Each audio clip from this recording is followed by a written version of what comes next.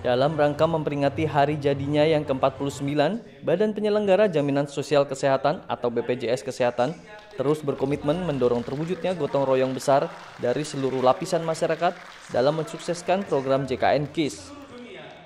Hal tersebut disampaikan oleh Direktur Utama BPJS Kesehatan, Fahmi Idris, saat peringatan Hari Jadi BPJS Kesehatan yang dahulunya bernama Asuransi Kesehatan di kantor pusat BPJS Kesehatan.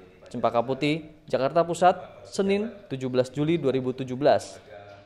Dalam kesempatan itu, Fahmi Idris menyatakan harapannya agar masyarakat semakin menyadari pentingnya bergotong royong atau berpartisipasi dalam program JKN KIS, serta menjadikan pola hidup sehat sebagai budaya sehari-hari dan berharap taraf kesehatan masyarakat terus meningkat secara berkesinambungan. Lagu kebangsaan Dalam peringatan hari jadinya tersebut, Hadir Presiden RI kelima, Megawati Soekarno Putri, Menteri Pemberdayaan dan Kebudayaan Puan Maharani, dan Ketua Komisi 9 DPR RI, Dede Yusuf. Dalam acara ini, Presiden kelima, Megawati, juga melakukan penandatanganan prasasti Undang-Undang Sistem Jaminan Sosial Nasional atau SJSN. Prasasti ini berisi bahwa Ibu Megawati memberikan semangat kepada BPJS Kesehatan. Sementara itu, Ketua Komisi 9 DPR RI, Dede Yusuf, mengatakan bahwa ke depannya BPJS bisa menjadi lebih baik lagi dalam mengembangkan sarana dan prasarana yang ada dalam upaya meningkatkan pelayanan kepada masyarakat.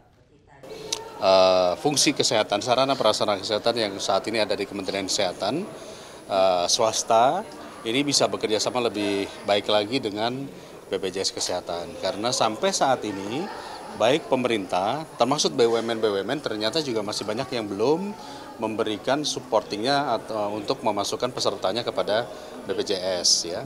Jadi saya lihat koordinasi antara BPJS saat ini dengan dengan swasta dengan pemerintah daerah termasuk sarana prasarana itu masih belum maksimal, masih perlu didorong lagi ya. Apalagi BUMN, BUMN ini kan punya pemerintah ya. Mestinya koordinasinya lebih lebih tepat sasaran lagi gitu. Menanggapi hal tersebut Fahmi Indris selaku Dirut BPJS menjelaskan saat ini BPJS tengah meluncurkan mobile JKN.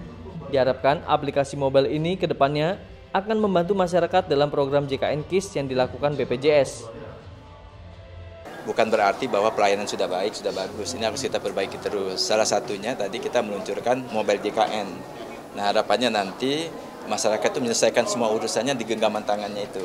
Jadi mau tukar fasilitas kesehatan, mau kemudian mendaftarkan peserta baru, karena kan ada tambah anggota keluarga dan lain-lain begitu banyak fitur yang kita harapkan bisa diakomodir melalui sistem online langsung lewat aplikasi yang berbasis eh, Android maupun iOS itu. Dalam program JKN KIS ini, kesehatan masyarakat dapat ditingkatkan secara berkesinambungan. Dari Jakarta, Chandra Arimurti, Nusantara TV melaporkan. Tentu bukan mengenyangkan. Jadi filosofinya kehadiran saya itu